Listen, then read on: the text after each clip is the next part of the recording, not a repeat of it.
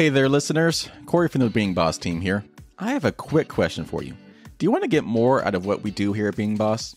Sure, you like this podcast, but did you know that Emily's recording monthly episodes of Making a Business, the show that follows along as she builds her other business, Almanac Supply Co.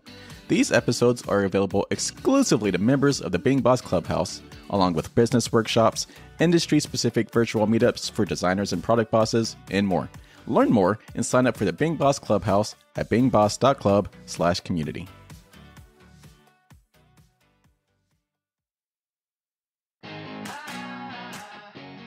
Welcome to Being Boss, a podcast for creatives, business owners, and entrepreneurs who want to take control of their work and live life on their own terms. I'm your host, Emily Thompson, and in this episode, I'm joined by Jessie-Susannah Karnatz The Money Witch to talk about her new book, Money Magic, as well as tips for healing your finances and the intersection of money and spirituality. You can find all the tools, books, and links we reference on the show notes at www.beingboss.club. And if you like this episode, be sure to subscribe to this show and share us with a friend. In my experience, creatives struggle with sales. You're great at what you do, but you have a hard time talking about it, especially in sales focused conversations. If this is you, then I have your next podcast recommendation for you the Salesman Podcast, hosted by Will Barron, brought to you by the HubSpot Podcast Network. If you want to learn how to sell, the Salesman Podcast will teach you how to find buyers and win business in effective and, my favorite, ethical ways. Some of Will's latest episodes include the four step process to influencing buying decisions, using strategy rather than hustle to win more sales, and sales targeting, supercharge your sales funnels and boost close rates. Check out this show and get better at selling what you do. Listen to the Salesman Podcast wherever you get your podcasts.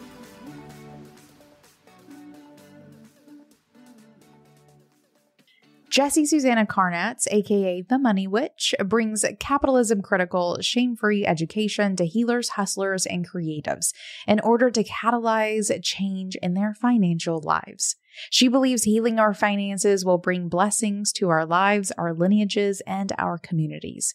She offers education, money management products, and intuitive financial coaching online and in the Bay Area on unceded Ohlone land, and does it all with impeccable business lady style. Jessie-Susannah, welcome to Being Boss. I am so glad you're here. Thank you so much for the invitation. I am excited about this conversation. You just sort of popped into Zoom and you were like, I think we've maybe done like seen, met something before. And I was like, I maybe feel this too, but neither of us can decide where or when this may have happened. I'm thinking this is going to be a really engaging conversation. Yeah, there must be some kind of connection there maybe so who knows? The world or the the sort of spheres we we run in are so interconnected. I, I find that oftentimes with bosses that i that i bring onto the show and you know we like we pop in and out of each other's feeds or or you know blogging threads or whatever um and you never quite know but i i'm so excited to have you on the show. I saw recently that you had a book coming out and I was like it's time. It's time to to have this chat yeah, March 1st was the release of my book, Money Magic. And I've just been thrilled to have it out ever since. It's been um, a really fun celebration. I bet writing a book, releasing a book baby into the world is such a creative endeavor. And then letting it out into the world, um, letting it sort of take on a life of its own, it is definitely worth celebrating. Um, and I'm excited to talk to you about your book today and really just the concept behind it, this idea of money magic. So I think to get us started, um, actually to get us really started i'd love for you to share more about your entrepreneurial story so get us started with telling us how it is you got to where you are today it is so meandering as it uh, that's all the best stories are so um I mean, I'm one of those people. It's like, if I'm going to tell a story, I want to tell the whole story, which my first job or my first business ever was selling Jolly Ranchers at school, but um, which I is more on my mind these days because I have a 12 year old who also has a little school business. Oh, nice. But in my 20s, um, I spent most of my 20s working um, in strip clubs. And as a dancer, you're really like you know, you are a solopreneur. Yeah. Because you are sort of, you know, you're managing your own money, you're managing your own taxes, you're managing your own workflow. Um, and I learned a lot about the exchange of money in those years. And then about halfway through that, I was working at a peep show in San Francisco called the Lusty Lady, which was like kind of um, an iconic spot because it was one of the only successful unionization efforts in the sex work industry in the United States. Um, I mean, still to this day. And so uh, we were a union shop, and the owners of the business uh, laid us all off, like they were going to close down the shop. And because we were already an organized workforce who had you know, plenty of experience at being like, this place would be so much better if we were just running it. We bought it as a worker owned cooperative. So I was on the founding board of directors of that um, business. And, you know, I learned a lot. This was uh, 2004, I think. It was either 2004, 2005. So, you know, it's like we were like, yeah, sure, we can buy this million dollar business, you know, just by reading advice on the internet. Let's do it. um, yep. And that's exactly what we did. So, um, I, I was on the board of directors there for several years. I was in a position that was essentially kind of like lead HR, uh, for several years. And I learned a lot. I learned a lot. Um, you know, because in a club. Like this was like hundreds of employees. It was like I hired hundreds of people. I fired, you know, tens of people. Um, there's a lot of movement and turnover and drama and all those things. So, um, I then got involved more deeply in the worker owned co-op community and was working just like in the Bay Area. There's a strong network for that. And I started to kind of see just how sad it was that there was like so many really passionate people that were, you know, excited about different ways of being in economy, you know, different ways of being in business. And we're actually like putting that in practice and really like dedicating, you know, their life force to this. And there was so much financial scarcity. And there was also so much lack in terms of financial professionals that had the cultural competency to work within the worker co-op community. You know, and not to mention the sex work community as well, right? So I was kind of like up close and personal witnessing these alternative business communities where there just wasn't a lot of relevant financial advice. So a friend at the time and I took sort of took it upon ourselves. She was doing some bookkeeping. She was also very involved in worker co-ops.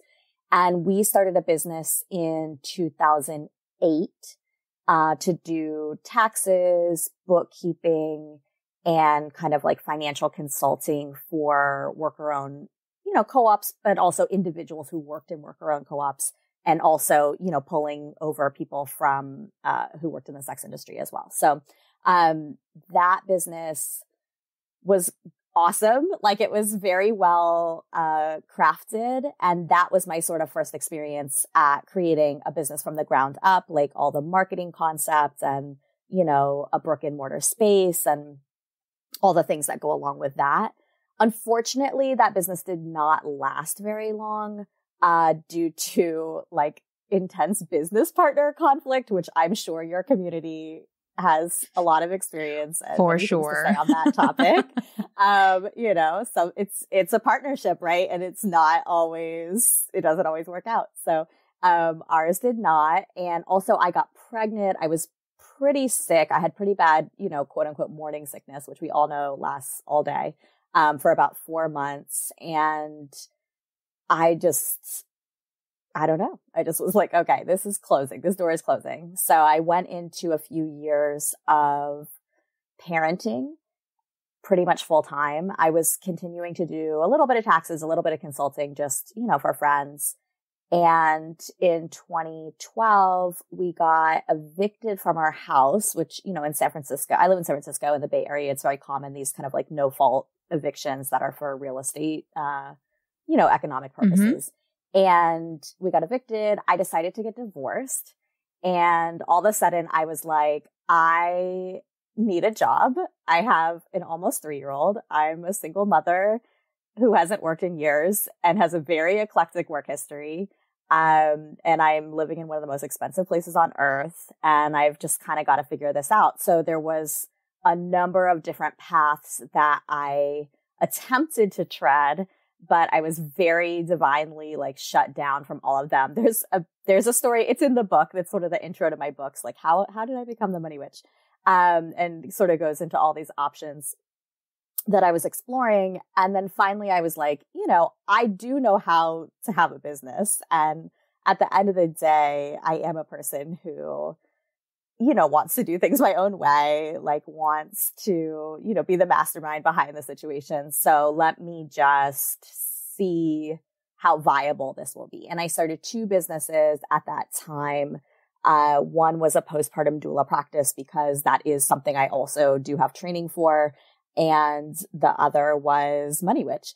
And uh, postpartum doula was fine, but that's a tough hustle. And Money Witch just really, there was a lot of responsiveness. So I am always someone who follows the path that is opening in front of me and, you know, really listen to like the spirit world and trust that like my angels and my ancestors are guiding me where I need to go. So I just followed the path. And, you know, eight or so years later, here we are.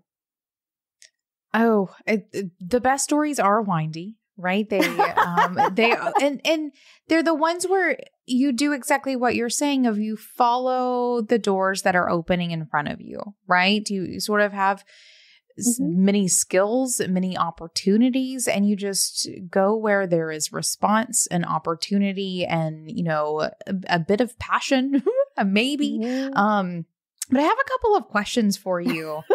Because it sounds like it, it sounds like this money piece or the question for you do you mm-hmm. have any traditional education in finances or money management Mm-hmm. I have a certificate in microcomputer accounting um, from City College in San Francisco. And so that was when we were, um, my first business partner and I in 2008, when we decided we wanted to start that business, she already was working as a bookkeeper. And bookkeeping is something that is generally, uh, sort of taught in a like apprentice style you know, where you'll start working for mm-hmm. someone mm-hmm. and they have clients already and, you know, you kind of, they show you how to do it. So she, I kind of apprenticed under her a little bit. And then we both decided we would go, uh, take this certificate program where, you know, you take several classes on taxes and you take classes on bookkeeping and you take, you know, whatever. It's like 10 classes or something like that. Sure. So that was that. And then in California, in order to be a tax preparer, you have to sit through like a 60 hour um, education program and take tests and exams and get certified by the state. And then every year you have to, you know, take a certain amount of continuing education to recertify. So now, um, that's been, I think, 11 years maybe I've been a certified tax preparer.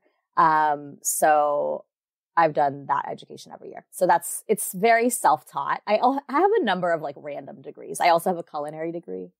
Nice. Um, and I've started recently, I know, I've started uh, personal financial planning, which is like a graduate certificate program at uh, UCLA Extension because I don't do financial planning, um, but I am interested in it conceptually and kind of like adding the philosophical points and the tools to the skill set that I already have.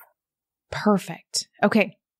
What I love most about this is that you really got those first pieces of, you know, uh, technical education after you discovered that you sort of had this vision of the money side of business and you even like took steps to start a business focusing on the money side. And I bring this up because in my experience with creative business owners who, you know, are the crowd who are listening to this, um, money is something that is is like pulling teeth, right? Like dealing with the money side and you were able to sort of pinpoint kind of early on that this was a lens through which you were looking at the world that was different from how the people who were around you were doing it. So I would love to really dive into dive into dive into that difference. Mm-hmm. You know, you were involved with this worker co-op you saw that there was some money issues everywhere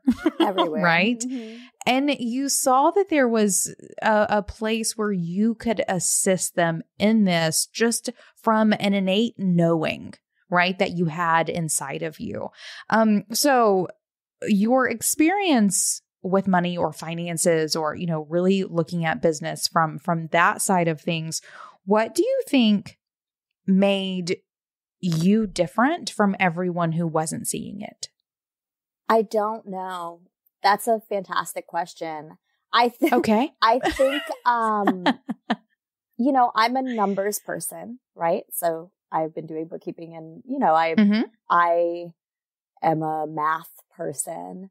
So I think there's an aspect of that that is always just present for me, you know, when people are talking about things in terms of a business, I'm just like always have that little math calculator going like, this doesn't add up, you know, like, is this going to add up? Yeah. The, you know, it's going to, the cost benefit analysis and, um, I just see the numbers. I'm very in touch with the numbers. I feel like in a spiritual sense as well as just there must be something about my brain that just really like that bottom line is important to me because um, and, you know, coming from that, the sort of alternative business community, right? We're all familiar with the idea of multiple bottom lines, right? Like it's like finance can't be the only bottom line, but it's important for small business people to remember that it is definitely one of the major bottom lines, right? Like you're allowed to have a hobby, you know, and if you are deciding you're going to do something for business, then the point is it needs to make you money. It needs to support your life, support you materially, like on this earth journey. And you need to understand how to assess and read the terrain of finance you know, so that you can know if where you're going is going to support that for you or not. And you need to be able to navigate, you know, the tools of finance, right? Like reading a profit and loss statement or knowing what the tax category, you know, deduction categories are or, um, knowing what receipts to keep or not, you know, those little things, right? So the kind of habits and tools that are also going to support you in that business terrain, those are absolutely essential skills as a small business person. Yeah, absolutely. Okay, perfect. Fascinating story. I absolutely love it. And I, I love that you are speaking of this money, the money side of things from this place where it was just, it was so innate to, to how it is that you see the world.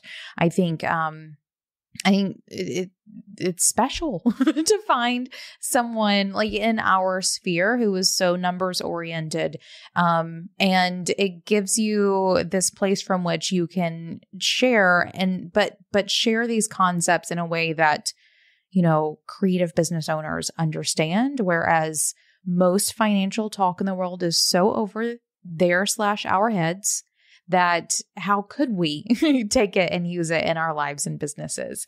Um, so I'm really excited to to dive in a bit further. HubSpot's CRM platform can help you kickstart your sales process, increase your leads, and stay connected with customers. Plus, it will scale with your business, making HubSpot the perfect tool for any creative business owner. Hear it from a real boss using HubSpot to grow their business. My name is Laura DeFranco. I'm the founder of Free Period Press, a Being Boss podcast fan and HubSpot CRM customer. It's really important to have a pulse on what's going on with our retail customers. I want to know how their customers are responding to our product, our prices, and what trends they're seeing in their shops. Even though we're working digitally, we're trying to keep our relationships as human as possible by developing real connections with store owners. We use HubSpot to track all of our wholesale accounts and prospects. We're honestly just scratching the surface in HubSpot's capabilities, but it's really nice to know that we're set up in a system that has the features we'll need as we grow. We track the contact information for all of our wholesale stockists and leads in HubSpot. There's so much data that we can add for each stockist, not just email and address, but any personal notes, the last time they ordered, or special requirements. When it's time to reach out to our accounts, we can filter so that we're sending more personalized messages to each store, and that is super helpful. My HubSpot CRM platform helps my business stay connected. Learn more about how it can do the same for yours at HubSpot.com. I want to talk a little bit, right? I want to talk a lot probably um, about your book, Money Magic, um, which did come out. It came out on March 1st, 2022. So it's fresh in the world. Um, I'd love to hear from you. Who or what inspired you to write this book? What is this book a culmination of? I would say, you know, my clients have inspired me to write this book and just the community of what you're just speaking, right? These people in the world, you know, that I love and care for who are doing incredible creative work, incredible spiritual work, incredible healing work, um, incredible community work. And are often not feeling that same competency and success reflected back to them in their financial life. And mm-hmm. I really, it's, I don't know. It's a, it's a, it's a love, right? It's a form of love for me that I feel like I'm bringing, um, to the world, to anyone who needs it. Perfect. It reminds me when you were just uh, speaking of like, you know, what is this lens? It really is kind of bringing me back, like, you know, 15 years or so to when I was in that first uh, worker co-op and thinking about like, you know, why is it that I'm so focused on finances versus other people in the situation? And I think it really ties into exactly what I would say is the inspiration for this book as well, which is that I see the lack of money or, you know, when things become less and less profitable. Like I feel like in the worker co-op community, I saw that a lot where things would kind of become less and less financially viable. Maybe the, you know, original investment is getting spent out or something changes where the business model isn't as profitable. And there starts to be this financial scarcity. People are kind of like cycling and cycling, trying to iterate, um, and, and not necessarily doing it effectively. And it feels so sad to me. Like it really hurts me to see that because these are the same people that I'm just speaking of, like incredibly gifted, incredibly special people who are here to walk like a path where they're bringing their gifts to the larger human community and that life force is just kind of being sucked out by it not being met with like enough material support to function and thrive. And I just don't want to see people go through that anymore. I love that mission a hundred percent. As you're talking about that, I'm definitely, it's resonating with me so much as to what I have seen from so much of the creative community. I think you hit the nail right on the head. This, this, um, separation between the work and the effort and the mission and the quality and the value and then literally what's in their bank account and finding a way to lessen that gap to to make the two meet is quite the worthy cause. Thank you for taking it on. Thank you. Perfect. So, the positioning for this book and so much of what you do is centered around this idea of healing your finances. It's part of the subtitle of the book, which the title of the full title of the book is Money Magic Practical Wisdom and Empowering Rituals to Heal Your Finances. So, this idea of healing your finances is fascinating to me. Um, but I think we sort of have to start with this question of what's wrong with our finances. I think you just hit on that a little bit, but I'd love for to hear you um, flesh that out a little bit more. What have you seen is is wrong with the state of our finances currently? I think there's two ways that we could come at this. So one is that idea, exactly what you're asking, like what's wrong that needs to be healed, right? Like there needs to be an mm-hmm. injury. And it's funny because I never really thought about it that way. And um, the original proposed title of my book was Heal Your Finances because that is a major, that's the entire premise of my work. And the publisher was like, we can't sell a book called Heal Your Finances because people can't gift it to other people without implying that something is wrong with them and their finances. And well, like, passive aggressive if you need to be. exactly. They're paying you guys the big bucks. I would never think about that.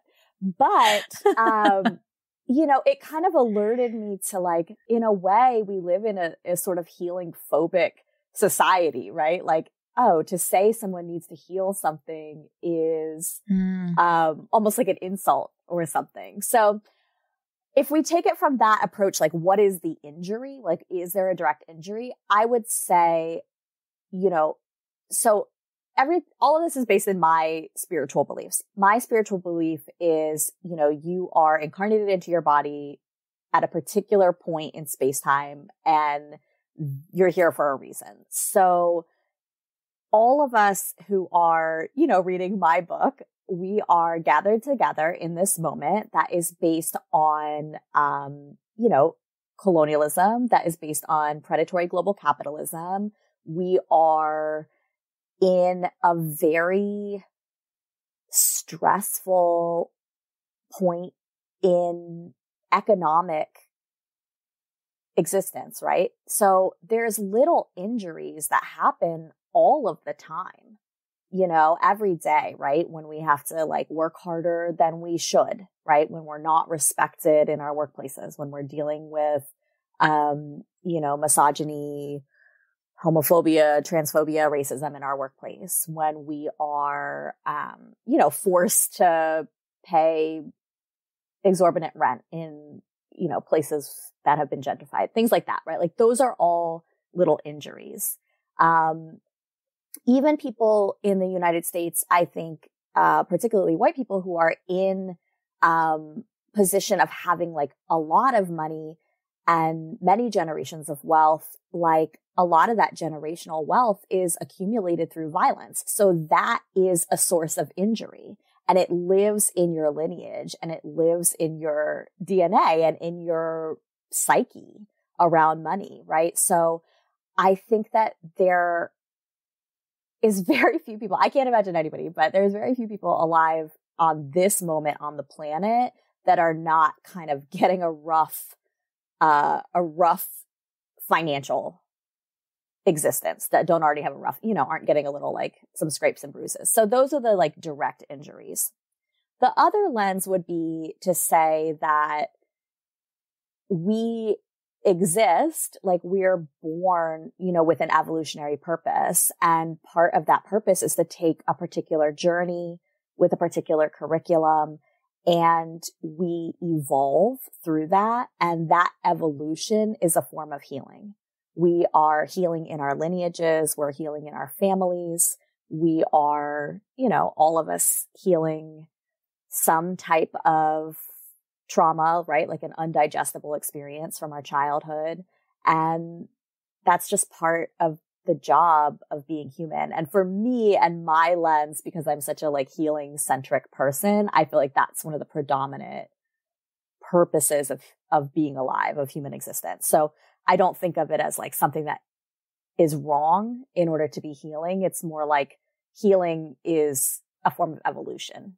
Mm, I love that. What, oh, better way of seeing it. And I also really love that you're touching on this idea that is humans alive in what the world is right now.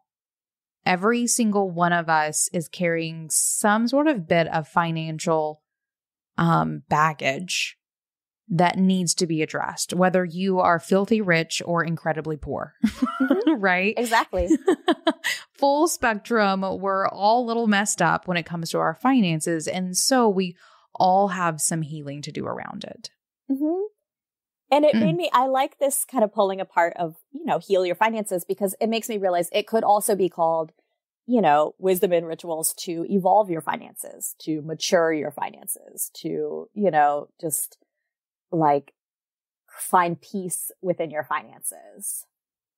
Yes. Oh, I'm loving this notion of evolution in finances because I do feel like that is what that's what's really sort of being called on to happen right now, right? Like where is, you know, global wealth coming from? Not from great places, right? Mm-hmm. Where is a lot of our individual wealth coming from? Not from great places. Whenever you really sort of dig in and deeper in this idea of evolving, if we can evolve the situations around our personal wealth, that sort of ripples outward. And as we do that, we sort of engage a healing in the entirety of economy that just feels very pie in the sky fabulous.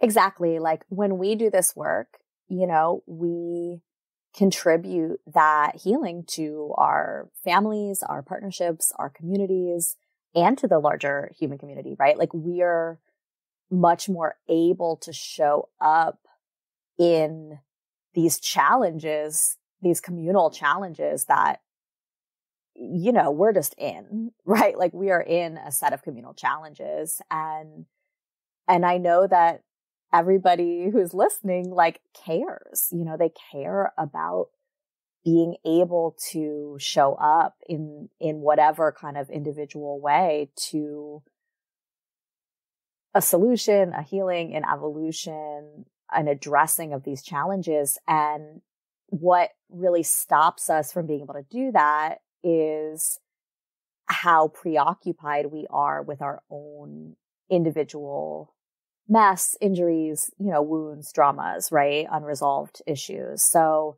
when we really face the issues, acknowledge that they're there, address them directly, put language to them and think about what we need to do to get some, some shift, some movement, some change, you know, all words that mean healing to me, then it's like, okay, we're fortified to go out and contribute to the larger human community. Beautiful. Everyone, go do some healing of your finances. It's for an incredibly good cause. That that just lit some fires under me that I did not even know weren't lit yet. Um that's that's wonderful. I'd love to dive maybe a little bit deeper into well, one the book, but also just generally what you do because you know, as the money witch and in your book, Money Magic, you are pairing this very practical, like financial advice and experience and like, you know, to do list, right? Or maybe not to do list, but these actions people can take with mystical rituals, which we are quite a fan of here. Um, at being boss. And I, I also love that you're meeting at the intersection of money and spirituality, which we have talked on the show many times before in the past that these two things are intrinsically linked. Um, and you are diving right into those things. So I think for most people listening, I think everyone listening, practical advice feels absolutely standard when it comes to, you know, talking money. Um, I would love to hear from you as to where you think the power lies in adding ritual to your money practices. I have this pyramid drawing in my book, and it's also on my website, and I call it the three angles of healing. So to me, if you want to heal or evolve or see gains or wins or, you know, however you feel comfortable phrasing it, right? On any issue, right? We're talking about money. This could be anything. I think if you address it from all three angles in parallel, right? It doesn't have to be exactly simultaneously, but in the same time period or make sure that you're tending to all three angles, then you're going to see the most movement on whatever it is that you're trying to heal or evolve. Um, and those are one, logistical, practical, right? So that's what you're saying. Just, you know, the advice, the to-do list, uh, get the knowledge, get some literacy, check it off the list. There's what I call emotional spiritual, which means what is going on for you personally, these, these wounds that we're talking about, right? Like what are the kind of hot topics in your personal history that are impacting your financial life? And I include spiritual in that because to me, spiritual is about your personal path of your spirit on this earth, right? So there's certain challenges that are a part of your personal spirit path. And then the third angle is magical energetic. So magical energetic to me, like what magic means to me is taking responsibility for yourself as an energetic entity and then acknowledging, which at this point, I feel like that's just science, right? Like we're reading that all the time, you know, with physics and etc. Right? Like we're energetic beings. We have impacts on the environment around us. And if we're able to impact the environment directly around us, we are therefore able to impact more largely as well. And then we're acknowledging that everyone else and everything else has an energetic power as well. So, for example, you know, I know that your crowd is very familiar with crystals, right? So, and in the book, every chapter of my book has a couple crystal friends, like I call them allies, that you could work with to do like the work of that chapter. Because to me, that's working that magical, energetic angle of healing is saying, you know, yeah, okay, I am going to do my bookkeeping on time for all of this year. You know, I'm going to make sure that I'm uh, keeping up to date on it.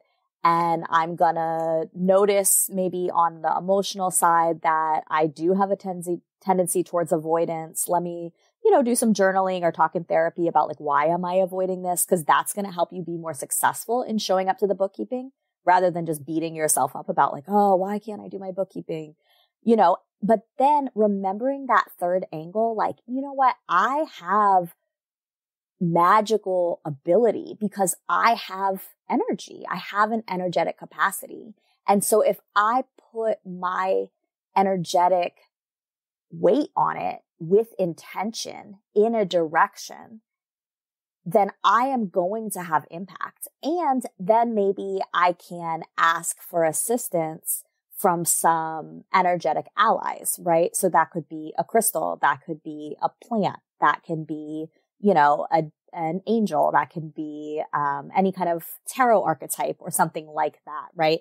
But when you remember that your sphere of agency and your sphere of impact is not just, you know, the practical actions and checking things off your to-do list, but your sphere of agency increases when you also work in these additional realms.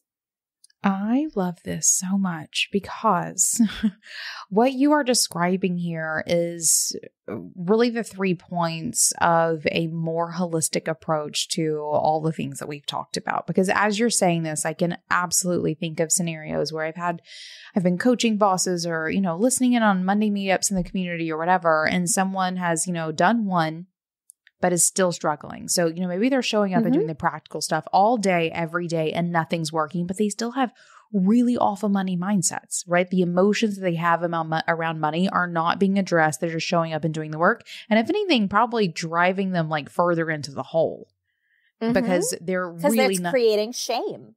For right? sure. Like when you so do many the practical and it doesn't work, you're like, yeah. oh, there's something wrong with me.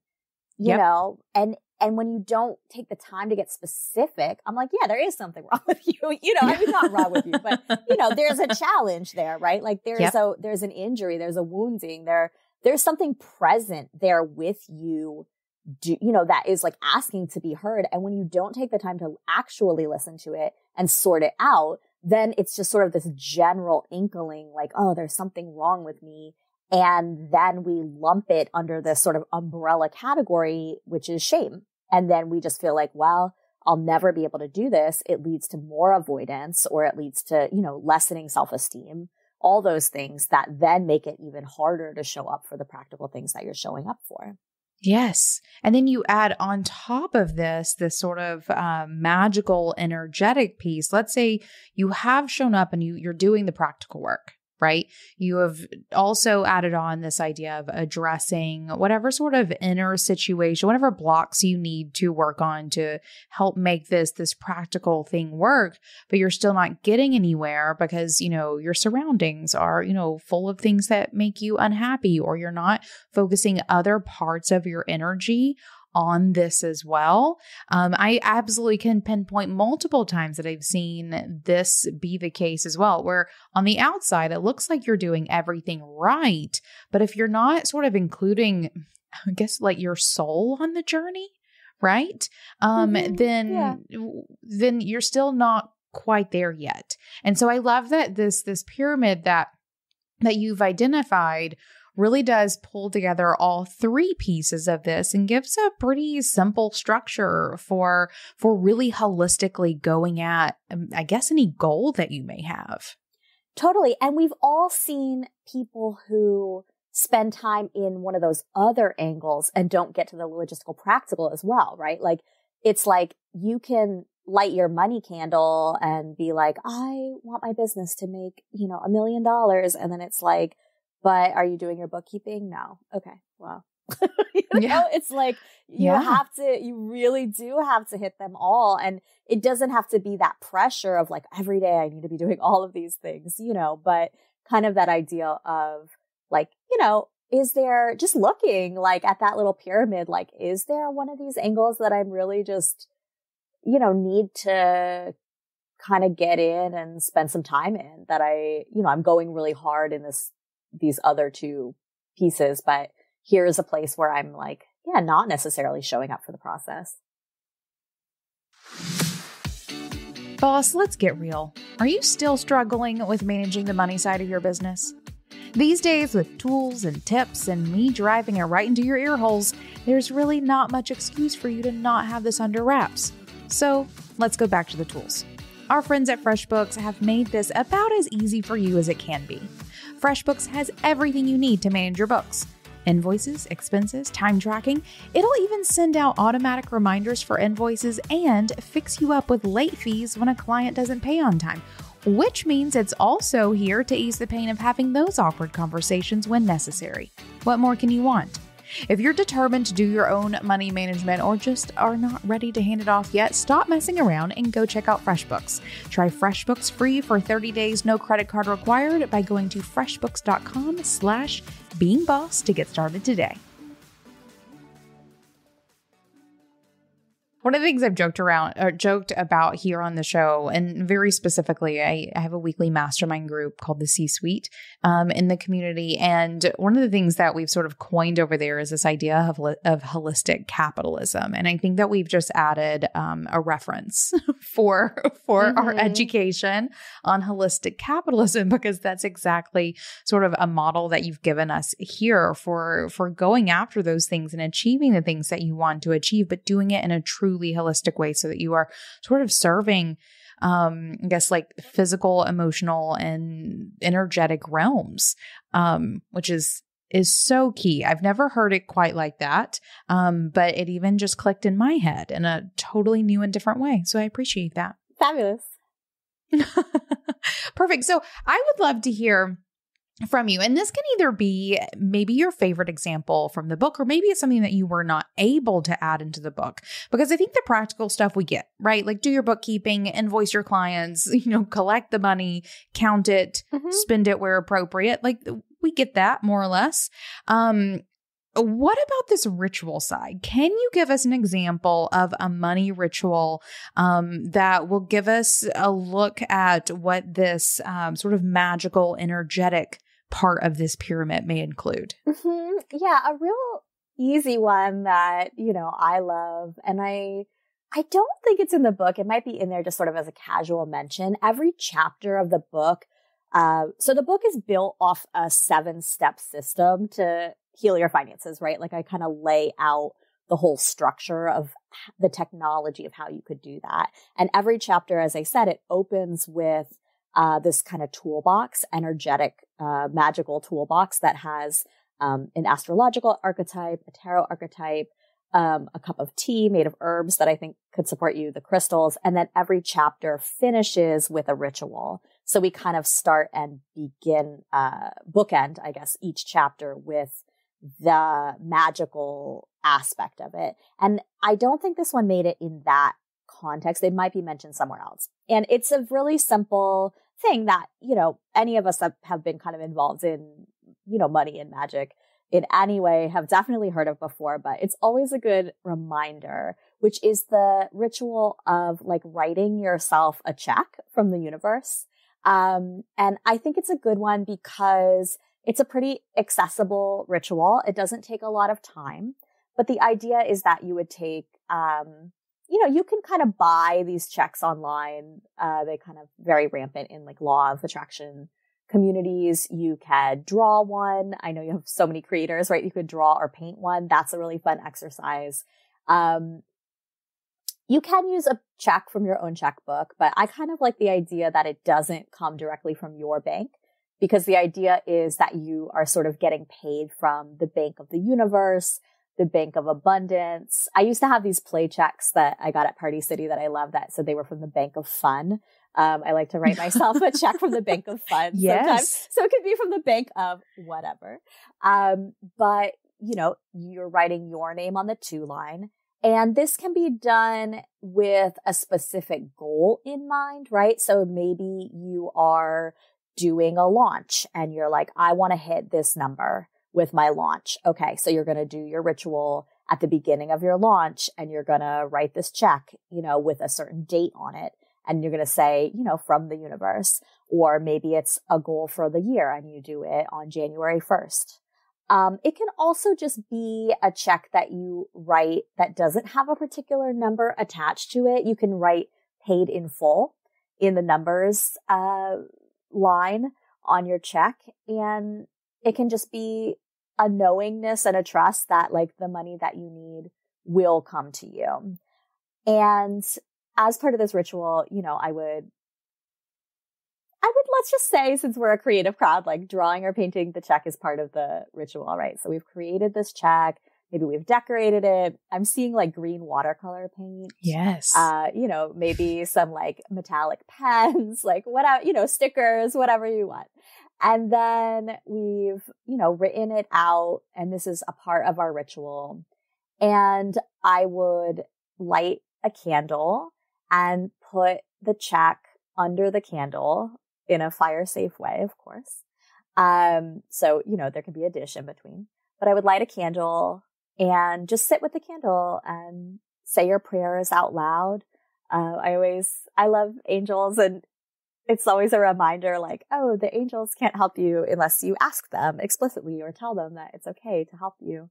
So, you know, asking your ancestors, asking the angels, asking the universe, whatever resonates with you to put their power behind, you know, bringing this prayer into your life, bringing this paid in full or this particular amount into your life and also asking for the lessons that you need to be shown in order to be a person who is ready to both generate and receive that type of money. Yes. And announcing that you are ready, right? Like, I want to know, like, I want the lessons. I want to know what I need to know to do this. Like, I'm not afraid of that information. And, you know, just praying with your candle. Yeah. Yeah, I love this on so many levels too. And it's funny too, because this ritual in some capacity has been shared on the podcast a time or two before, but like we've been around for seven plus years, hundreds of episodes, like it's in the archive somewhere. Um, and I haven't thought about it in literally years. And so as you're saying this, one, you're reminding me of a tactic that I've completely forgotten about. And two, you've added some extra juice to it, which I, I love sort of the evolution of this practice. And it's, and now that I'm, you know, a couple years down the road as well, being able to add sort of a, a, wiser perspective to it, there's two things that I want to point out about this practice that I'm feeling as you're talking about it around one, the expansion that this energetically causes you to sort of um, loosen yourself into right? This this idea of just sort of putting this out into the universe. And i think this is so important because when most creatives in particular are, and really, and or business owners who are struggling with making it happen in the way that they want it to happen, there is this such a sense of lack and um and constrictiveness i guess around money that this is this is a practice that will absolutely energetically loosen that energy that you have around money. And then also, it's requiring you to release control or at least this sense of knowing around when and where this is coming from and how you're going to get it. Because we're a bunch of type A's, a hundred percent. And this practice is really great for just opening you up to opportunities that that you couldn't define and shouldn't because you should be opening yourself up to things you can't even imagine. Mm-hmm. This is that faith, trust, surrender, you know, that a lot of us struggle with. But, you know, you're not, you, you can't see everything. You yeah. just don't have the capacity, the, the vantage point to see everything, right? So as business people, we are tasked with, you know, implementing our visions and creating a plan and making it happen and attempting to, um, you know, create an outcome, a specific outcome.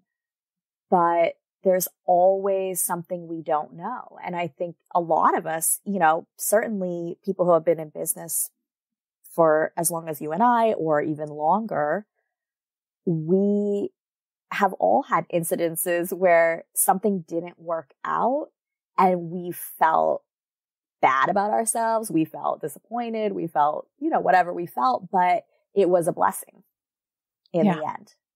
And, you know, that's, that's just true. That's just true. Yep, for sure. And also this idea of, you know, you don't know what's going to happen. You don't know where things are going to come from. Aren't you glad that you don't? Like, think about how lame our journeys would be if we knew the next step every single time.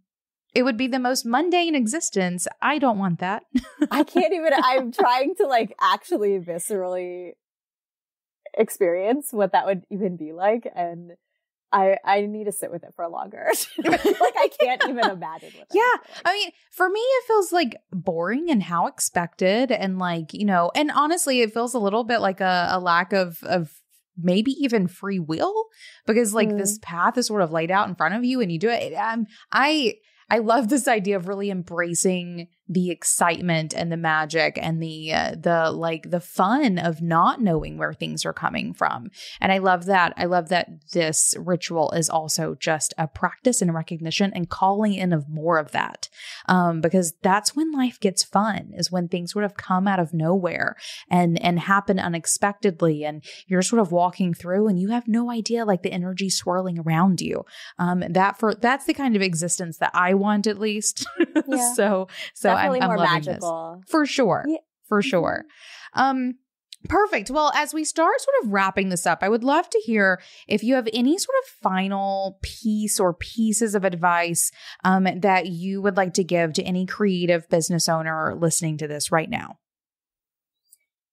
I would say that completely surrendering to the reality that you have to get close with your finances, understand your finances, be intimate with your financial information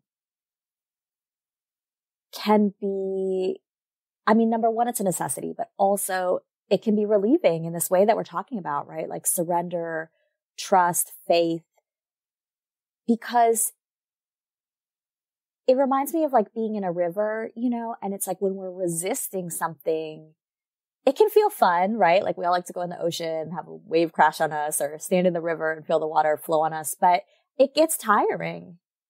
You know, resistance is very tiring and things that are tiring are taking our energy and you know, all of us need our creative energy. We need our visionary energy. We need our implementation energy.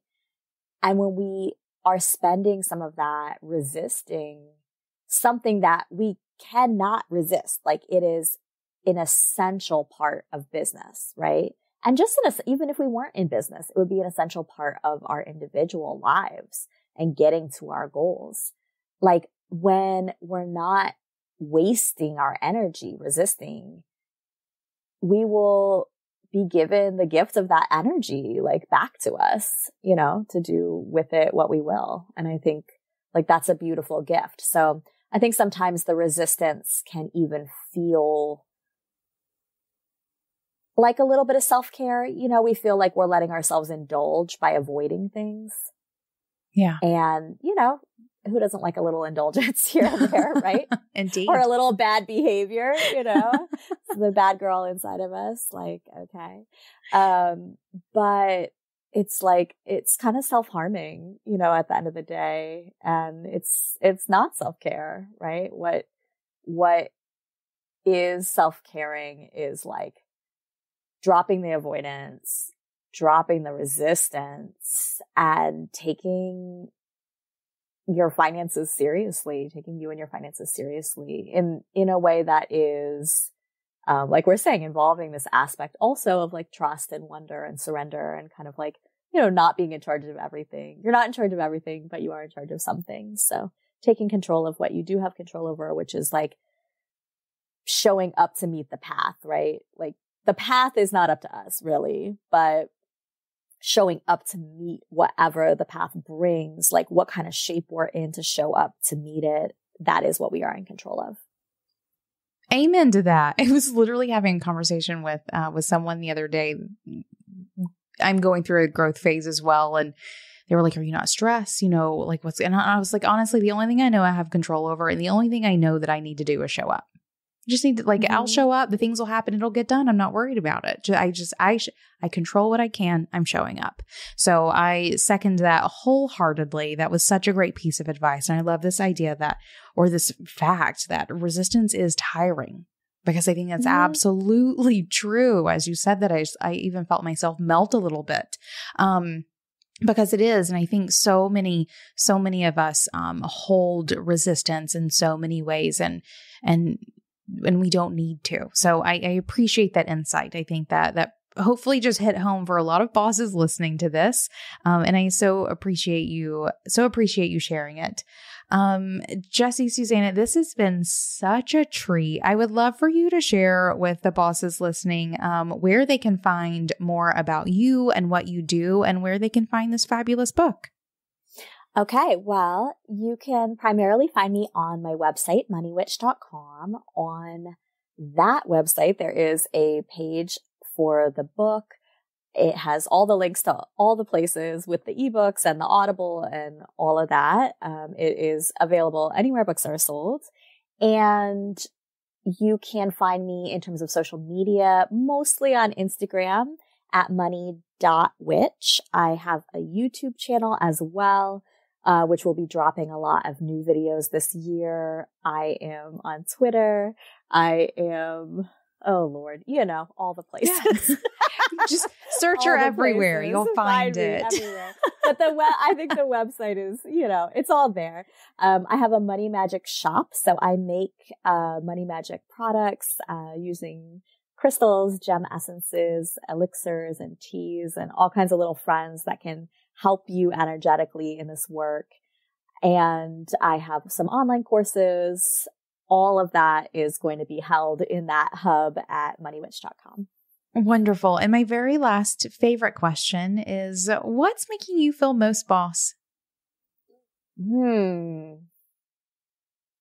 I think right now in the release of my book, something that I have been reveling in and that has been really lifting me up is the experience of seeing so much support from my community. You know, like mm-hmm. all these other business babes, all these other, you know, internet friends that we all have really taking the time to share the book, to talk about like what, um, my work has meant to them. And in that, I have really seen, I think, so many of the like little seeds of effort and care and love that I have planted out in the business community come back to me. And that is making me feel just really elevated right now. Yeah. Best feeling in the world. Jessie, Susannah, this was such a treat. Thank you so much for coming and chatting with me about all of this. Thank you. All right, boss, because you're here, I know you want to be a better creative business owner, which means I've got something for you. Each week, the team at Being Boss is scouring the news, the best entrepreneurial publications, and updates and releases of the apps and tools that run our businesses, and is curating it all into a weekly email that delivers the must know tips and tactics in the realms of mindset, money, and productivity. This email is called Brewed. We brew it up for you each week to give you the insight you need to make decisions and move forward in your creative business. Check it out now and sign up for yourself at beingboss.club slash brewed. That's beingboss.club slash B R E W E D. Now, until next time, do the work, be boss.